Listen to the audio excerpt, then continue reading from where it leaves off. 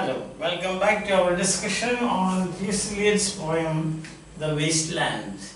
We have done the first two sections and now we have just ended the third section that is the fire sermon and there also we have seen half a dozen frames. The sordid situation of the Thames River now and uh, that is contrasted with the glory of the past.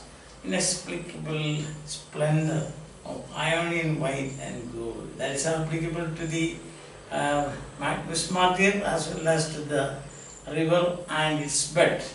We also saw that other uh, frames like by the water Leman, I sat down and wept, and you see the three uh, different aspects of that. One is uh, that is about uh, Eliot's, Eliot's own life, and second is about the Babylonian the Jews in Babylonia, as in Babylonian exile, when they were there, they say that they cannot sing about uh, Sion in a foreign land.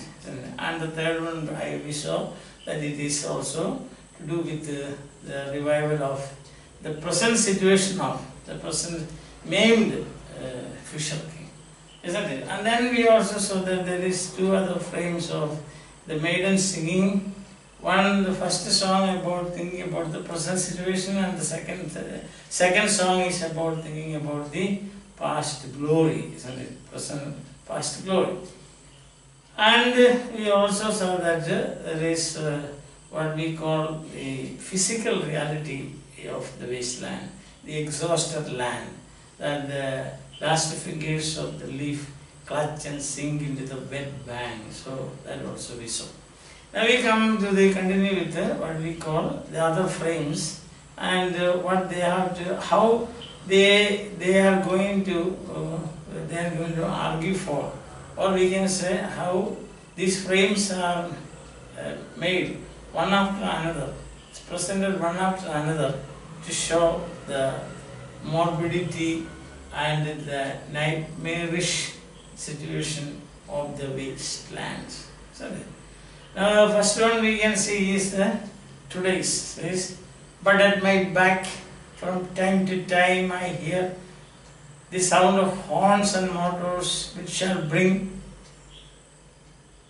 Sweeney to Mrs. Potter in the spring. Oh, the moon shone bright on Mrs. Potter and her daughter. They washed their feet in soda water. Half a dozen lines in this poem but you can see there is what I must say such symbolic and semantic density. We won't find, I think, in other uh, passages of this poem. What you, you can see is in this half a dozen lines, already there are four very clear cut references, allusions are there. See, starting with, but at my back from time to time I hear the sound of horns and motors which shall bring. Now that reminds us of to his coy mistress and Andrew Marvell. So there is a burning. Here you can see four kinds of burning. That is the thing. That's what I, I, I am trying to I am trying to tell you. That is four kinds of burning. Burning situation. So the, the the pen is yes burning huh? The pen is not burning but uh, other things are isn't okay let's see that uh, what is happened what has happened to all the ah yes. Burning burning. So there you have what? This is today's first frame. Or the eighth frame when you look at it in the totality. Now what does he say is that to his mistress carpe diem, capture the day. Carpe diem, carpe diem means that is Latin, carpe diem. Diem, diem means day.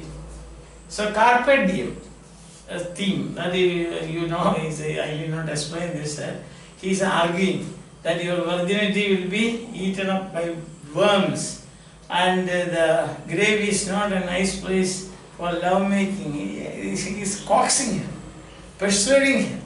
But what she does, and finally he says that he also tells her that uh, I always hear at my bike, at my bike I always hear times winged chariot hurrying near. So that is, so that is the variation that uh.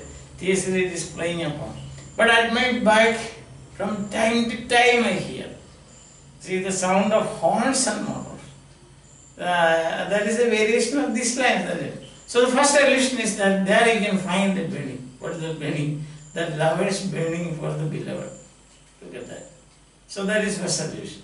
Second one you can see horns and motors. That is uh, first one, then second one. Horns and motors. That is reminds us of Diana and the Actaeon. The his uh, hounds, they were going for hunting.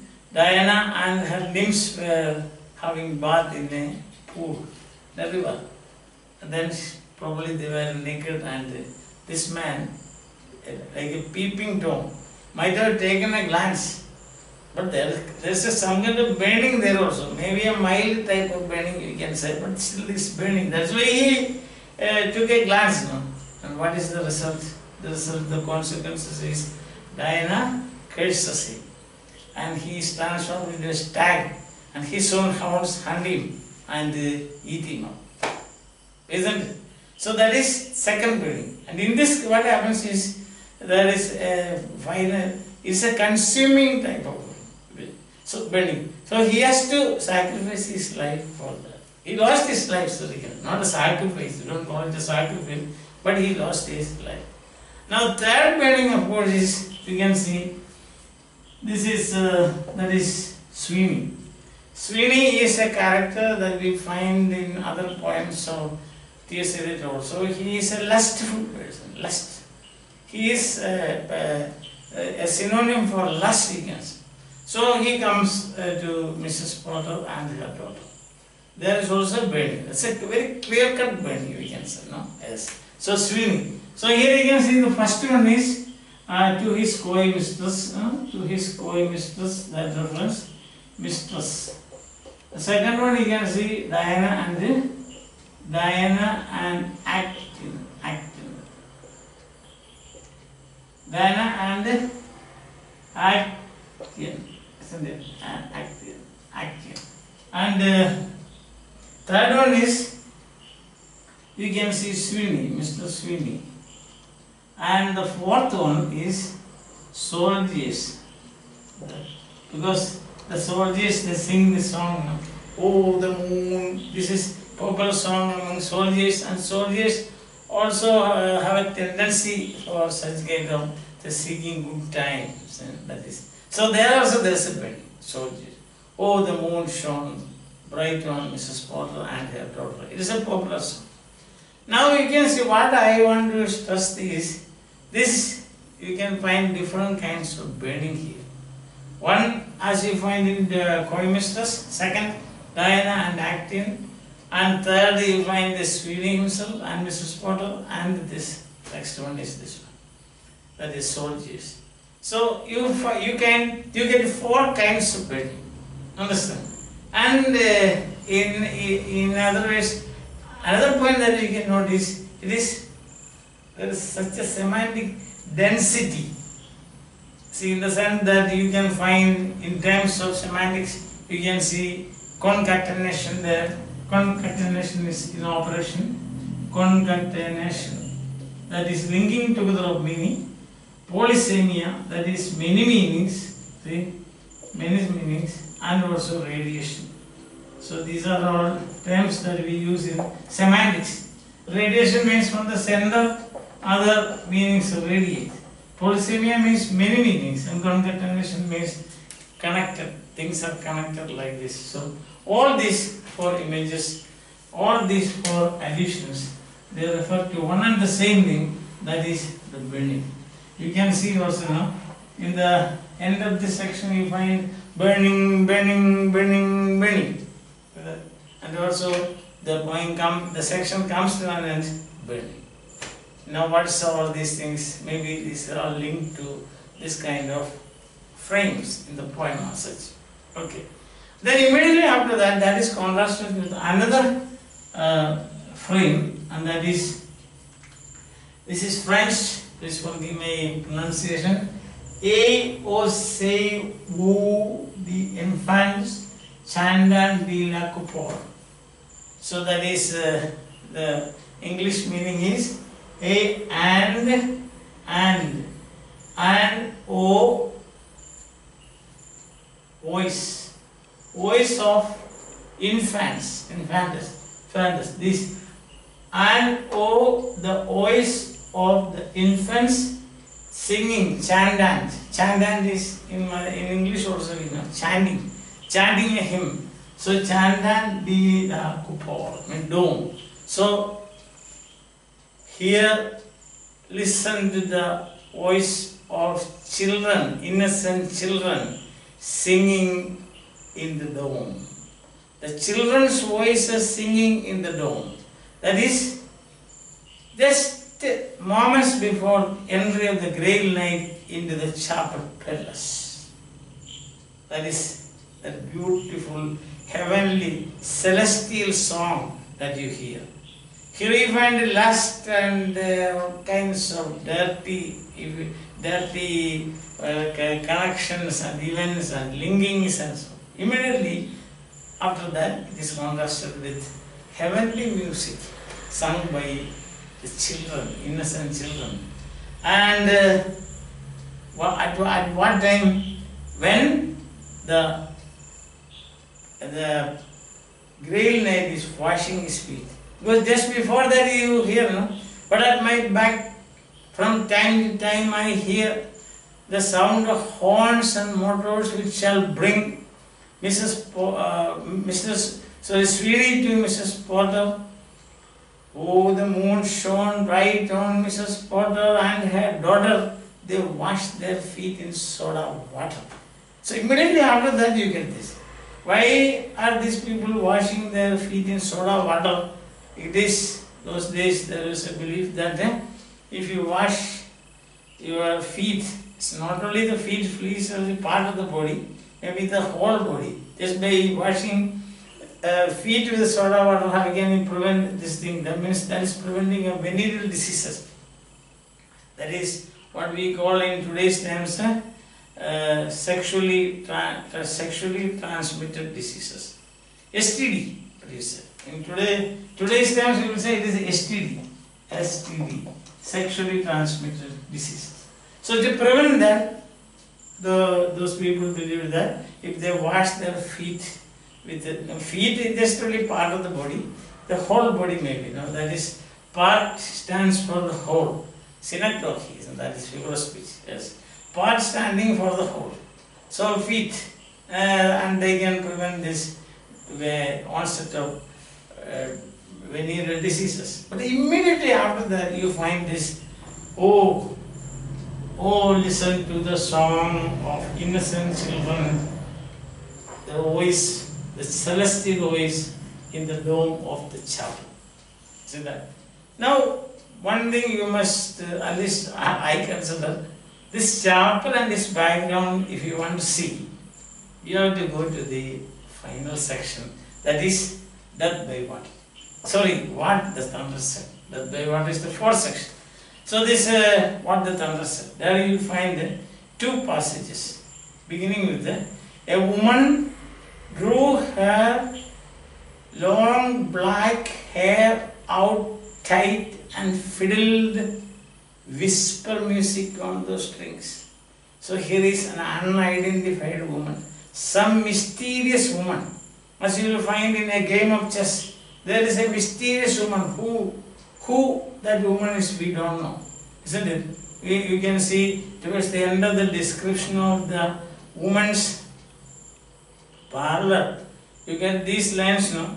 Under the fire, under the firelight, under the brush, her hair glowed into, glowed into fiery points, isn't it? Ah, spread into, sorry. Her hair spread into fiery points, glowed into and then would be savagely still.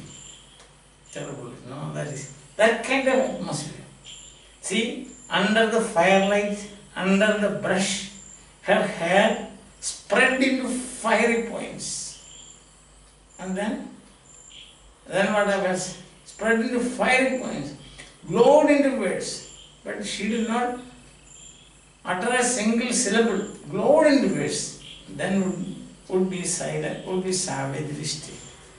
So, this a continuation of that, maybe that woman. There is always cross references within the poem. That mysterious atmosphere, that nightmarish atmosphere, that ghoulish atmosphere. Understand that? Or you can say that murky atmosphere.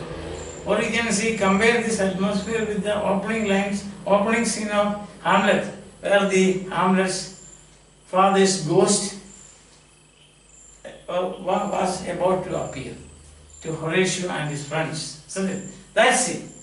So to that we can compare. Uh, I, I think it's like that, that kind of atmosphere. Or the scene, the moments before appearance of Dracula. Yes.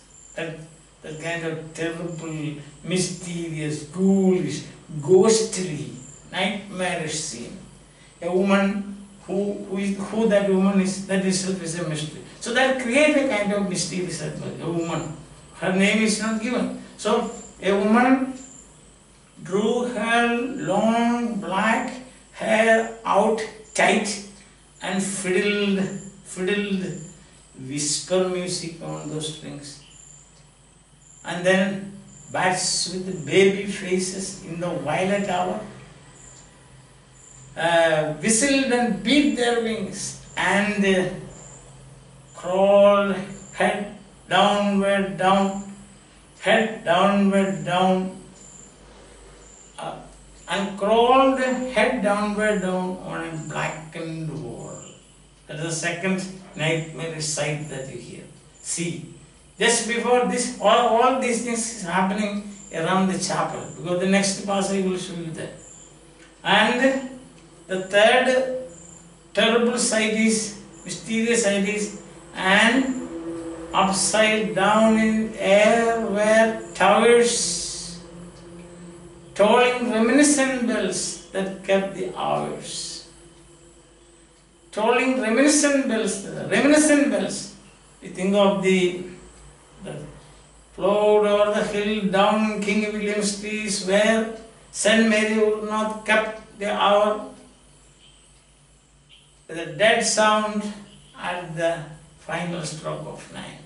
So such towers. That is reminiscent, reminiscent time. So the and upside down where upside down in air where the towers see? Upside down. Totally disturbed you know upside down. And these towers tolling reminiscent time that kept the hours. And what is the fourth one? Everything is upside down. Everything is dilapidated. Everything is on the on the way to degeneration isn't it and the fourth side is and voices singing from voices singing from empty systems and exhausted wells. So that four nightmarish images come before us. This where does this take place? This is you can see in and around the Grail Chapel. He is washing Parsifal, the innocent knight, to get courage. He spent 20 years of hard labor doing various kinds of spiritual exercises, mortification, doing penance, atonement for his sins or somebody else's vicarious atonement. Yes. After all this, he has now come getting ready to enter the getting ready to enter the chapel, the great chapel, the perilous chapel. Otherwise, what will happen is you won't be able to even stand there. Only because a pure knight, a foolish knight, fool here means pure, innocent knight, can come there and enter the chapel perilous and ask the relevant question whom does the Grail served. Get the correct and right answer. Only by doing this, the maimed fisher king can be healed. The healing of the fisher king is the most important thing here. Why? Because the land has become infertile. The people, people of this land, they welcome winter. Winter kept us warm. Winter kept us warm. Covering earth in forgetful snow, feeding a little life with dry tubers. What about spring?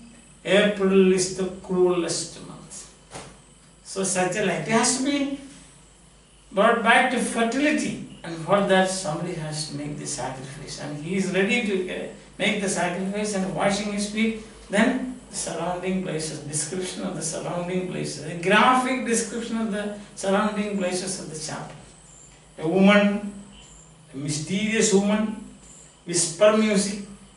Second is bats whistling and beating their wings and also crawling downward, head downward down on a blackened wall. Everything is black connected with darkness. Darkness, yes. Because as we know, evil spirits they like darkness. That's why in Macbeth we come across witching time of the night. Witching time of the night. When the witches they go around, they go for picnic and all those things. that is it. This is that time. So such a time, such an atmosphere you get here also. But the knight is not, the innocent knight is not at all afraid because he has got a, that much of spiritual, spiritual, uh, that much of virtue. He has earned that much of spiritual strength. So that much of virtue. So no evil spirits, no dark forces of darkness can harm him. So he is so confident. He's standing there and then washing his feet. While his, while this washing is going on, what happens here is the innocent children singing in the dome. Understand? That is the thing. The heavenly choir is singing, encouraging encouraging. And then continuing that atmosphere, that mysterious, ghostly, murky atmosphere. Again, there is another passage that is in this decayed hole among the mountain, in the faint moonlight, again the darkness, the faint moonlight, the grass is singing over the tumbled graves about the chapel. The chapel, only the wind's home. It has no windows. The door is swinging. The door swings. There's only a door and it swings. Then final, that passage comes to an end with the dry bones can harm no one.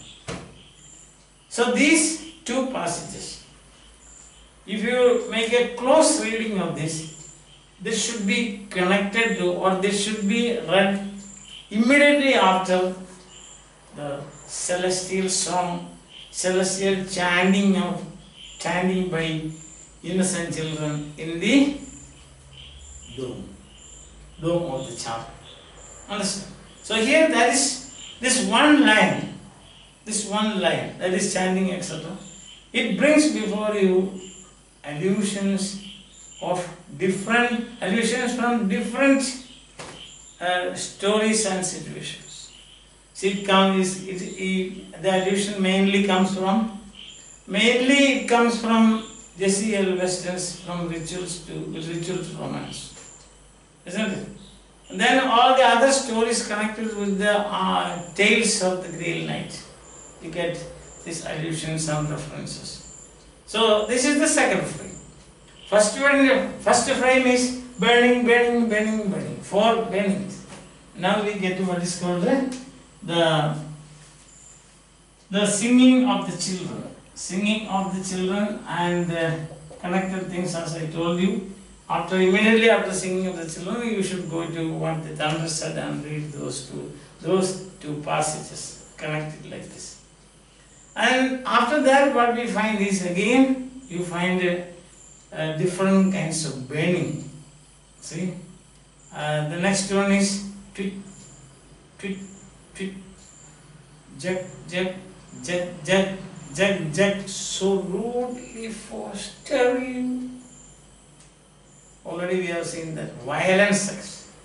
That is violent sex. So king introduced rapes Philomela. And then what happened, etc., we have already seen. Okay. Now that you can say third frame, the Philomela. Philomel myth, yes. Philomel. And then we have got the fourth one, variety, you know, varieties, varieties of varieties of good time. How people seek or go after varieties of good time.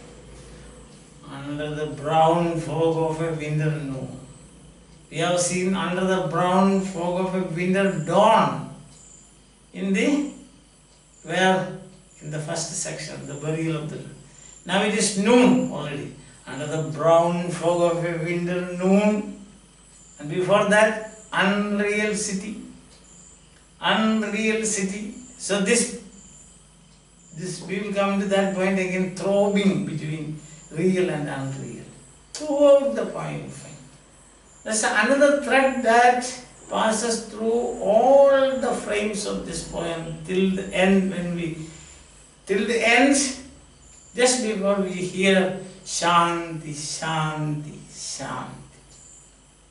Till then, from beginning to end, you find this thread, and this unites all the frames and provides unity to the entire poem, throbbing. So, unreal city, you will take this up in detail tomorrow or another day when you are uh, ready to uh, discuss further, get into further discussion. So, here what happens is unreal city under the brown fog of a winter noon. Mr. Eugenides, the Smyrna merchants, unshaven with po- pocket full of currants. CAF London documents at sight that is commerce. Waybill, uh, bill of lading and documents at sight. Only when you give the documents, you will get the, you will get your goods delivered. So documents at sight asked me in demotic French to luncheon in Cannon Street Hotel, followed by a weekend in the metropole. Uh, the associations are very clear, homosex. In the Asilis time, this was a this is a this was a crime, considered a crime. You could be booked, police could book you, arrest you. But now in many countries, it's not a crime, it is a sexual orientation. They consider psychologists and psychiatrists say that it's a kind of sexual orientation. We need not blame them. Suppose you have a, you have uh, you you are you, you suffer from fever. Is it your mistake? it's like so they consider it so silly, silly these days. Okay. So there you have got the, the fourth one. That is Smyrna merchant. Yes, Smyrna merchant. Smyrna merchant. And then we have got probably the uh, a section where. Eliot has lavished many lines of his poem and events and events which for him he thinks I mean we should also think like that now with the T.S. Eliot because uh, we are not we we don't reach anywhere near. Eliot as far as the imagination and his ability to present things like this are, um, are concerned. So we don't want to have any any we don't want to enter into any kind of discussion on such subjects. So he said that you can very well say that many lines are many lines in the poem have been devoted to this particular event. And how important is that you can see as we proceed. See the violet hour, the time of the day, the violet hour, grand, very grand beginning. See, all the words used in this section are also very grand. You can see satire, sarcasm, and irony, irony of situation, irony of language, irony of words used, all such, all possible, uh, possible feelings like this are aroused in this particular section. That event between the typist with the sex and the young man carbuncular's tryst with the sex. So, at the violet hour, when the eyes and back turn upwards from the desk, till then she was, she was working, she was a typist. From the desk, when the human engine waits, he's, she is not a human being, she is a human engine. That you will see later. Why this human engine phrase is used to describe this woman, this typist girl. When the human engine waits, like a taxi throbbing, waiting, throbbing. It already told you. The city is throbbing between real and unreal. This girl is throbbing between, uh, we don't know, for the time being, we will try to find out as we proceed. Throbbing. So at the violet hour, when the eyes and back turn upward from the desk, when the human engine waits like a taxi throbbing, waiting, I, Tiresias, though blind, I, Tiresias, though blind, throbbing between two lives. So how many throbbings are there now? The city is unreal, city is throbbing. The violet hour, throbbing. Why? Because it's a parting time for the day. The violet hour, two lights. Neither day, neither light nor darkness. So unwilling to part, unwilling to say goodbye. So throbbing between light and darkness. Understand? Then the girl here type is throbbing between probably uh, for, because she she is now falling on the thorns of life. Throbbing. Throbbing. And what about now? Tiresias. I, Tiresias, though blind, throbbing between two lives, old man with wrinkled female breast can see. There is another, another throbbing. What is that? Blind and sight. His blindness and his sight. His throbbing between that. Blind, dark and light, there also. So throbbing between. Can see. What can he see? What is the significance of Tiresias? Who is Tiresias? How can, with whom can we identify Tiresias with etc. We will see tomorrow, not today. For the time being, because it will, it will take some time. We have to go through the entire poem to find out who Tiresias, Tiresias is. Because Eliot himself says, what Tiresias sees is the content of the poem. So who sees the content of the poem? That is it. That we will see. We will unravel that mystery tomorrow or next day when you come here for this discussion. Continue this discussion. Till then, let us wait anxiously for that that uh, mystery to uh, anxiously search for the key to that mystery. Understand? So here can see what can what can he see at the violet hour, the evening hour.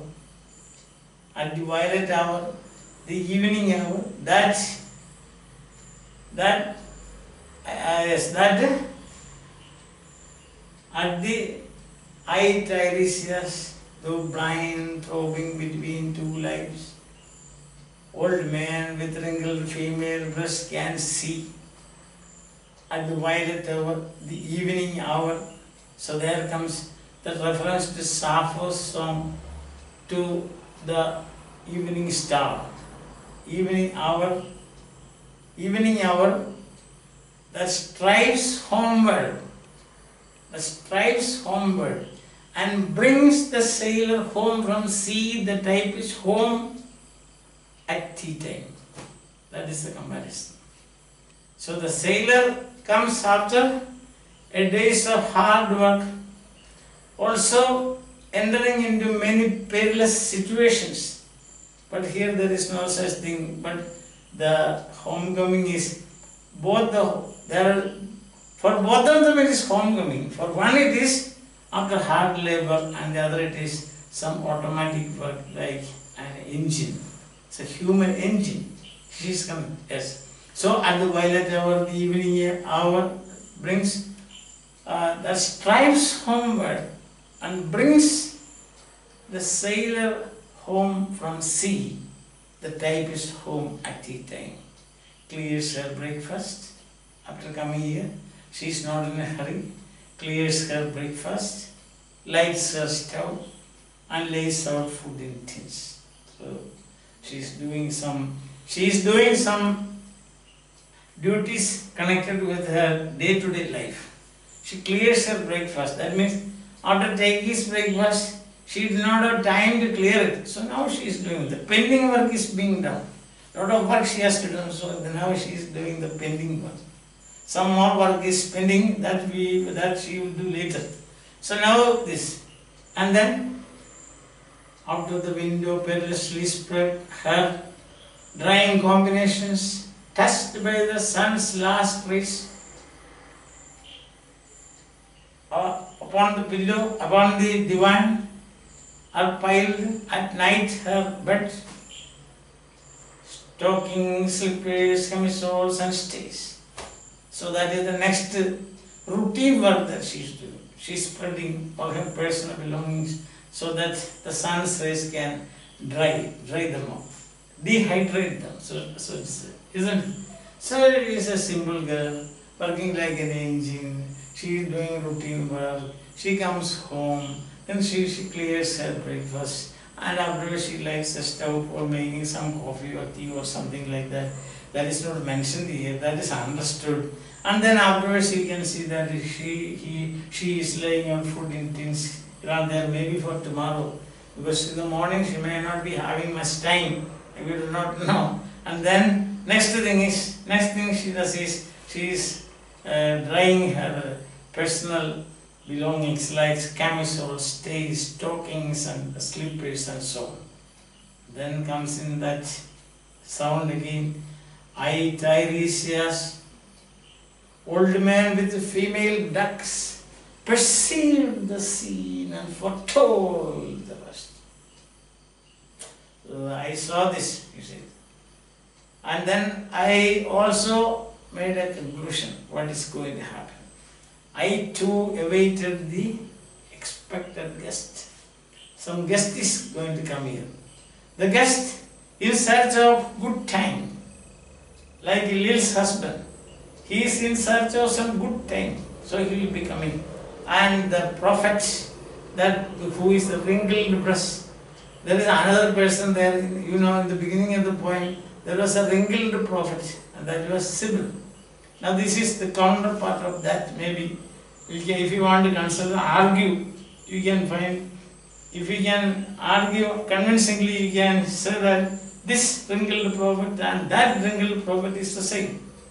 That is up to you. You can you can argue, but there's plenty of time for you to argue, and therefore you try and find out. But you have to base your arguments and your conclusions on the text, not any other thing. Yes. Very good. And so you say, I too awaited the guest. Now, the description of the guest, who is that? He, the young man, carbuncular arrives.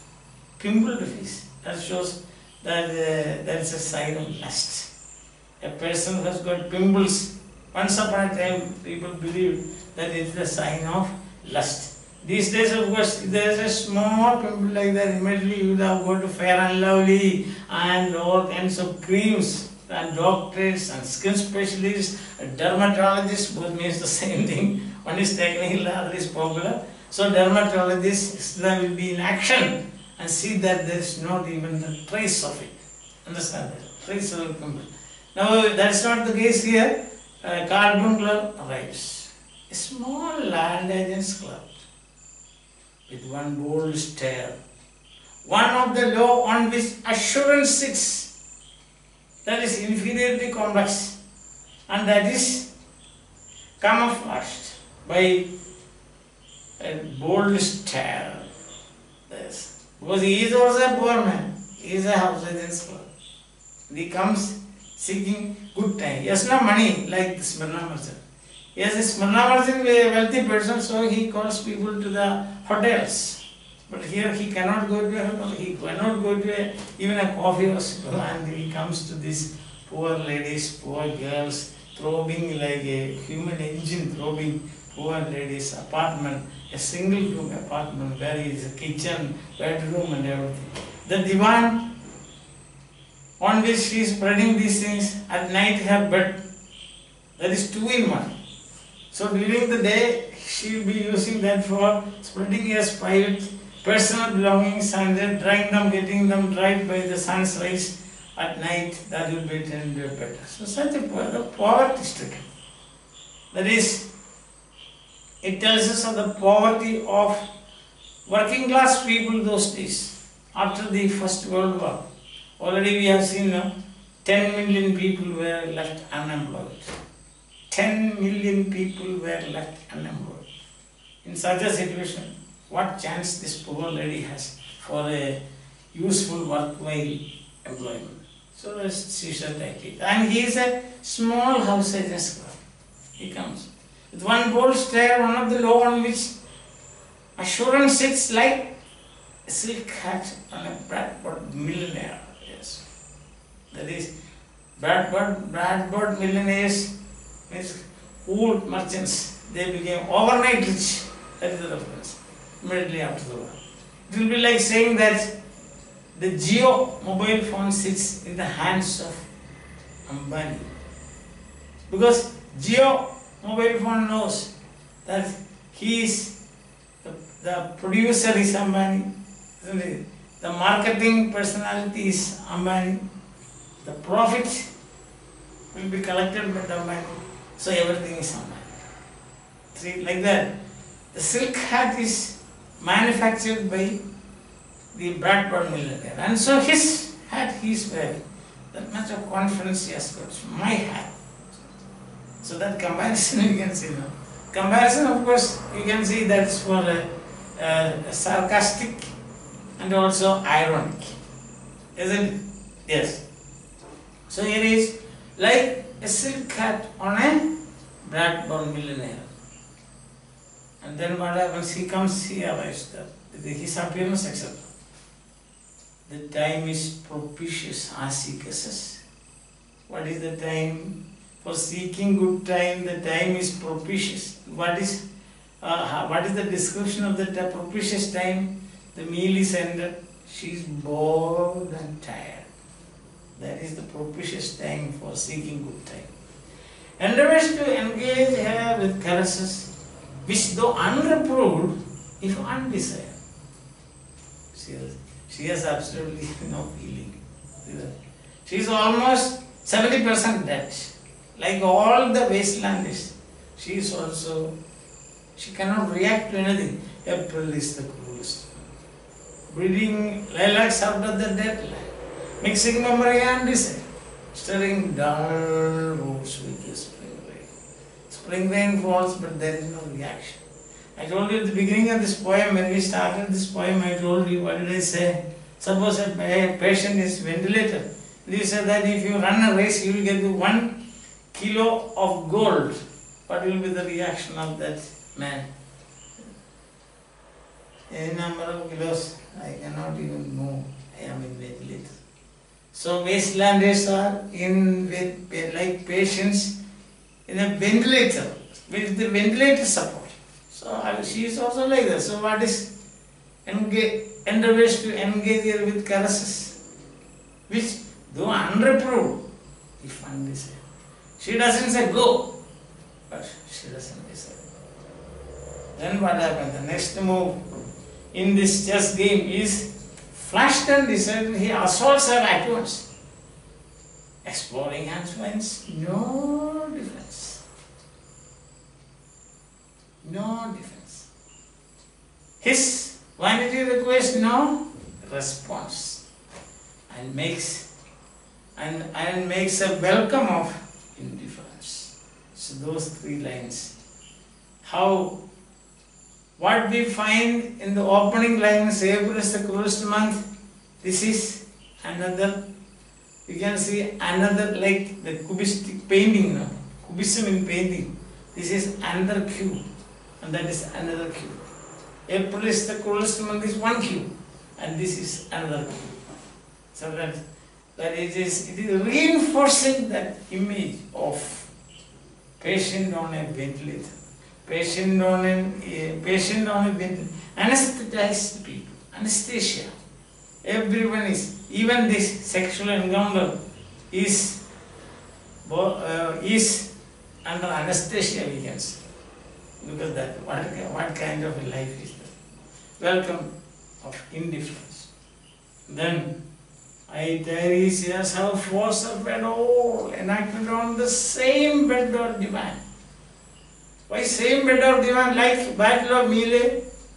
Oh, all the words are same. So he refers to Battle of Mylae. So Mylae. So like that it says. All the encounters, human relationships like this. I have first suffered. Same bed or divan. That's the thing. And I, Tiresias, I, Tiresias, force of all, enacted on the same bed or divan. I who sat by Thebes below the walls and walked among the lowest of the dead, the universal sweep. It's not only this world but the other world. That the universal sweep of the experience of Tiresias. So that is why that is why that's one of the reasons why T.S. Eliot says that what Tiresias is is the content of this poem. This world, the other world, another world, and uh, not Netherlands, another world, Netherlands, this world, that world, upper world, lower world. So that is, he says like that, his universal. And the continues, encounter continues bestows one final patronizing kiss and gropes his way down finding the stairs unlit. So the war is over. Now we come to the post-war situation. What is the post-war situation? The war is over. War is no war. Like Charles Baudelaire has said, no, the Gulf War did not take place. And the Gulf War will not take place. did not take place, will not take like that. So this war is like the Gulf War, described by Charles Baudelaire. So after the war, the war is over.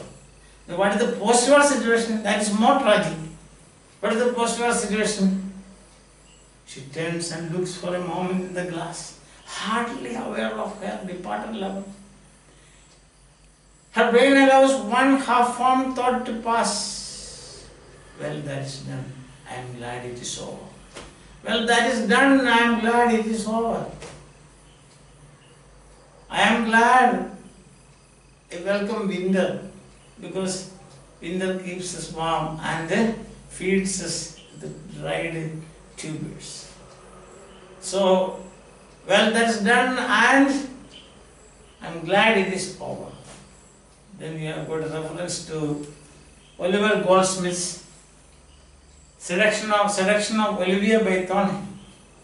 Says, a lovely woman stoops to folly and paces about her room again alone. Only that much. So in that story, you find that Olivia is about to commit suicide, so that there will be some repentance. She can create some repentance in the mind of Thornhill.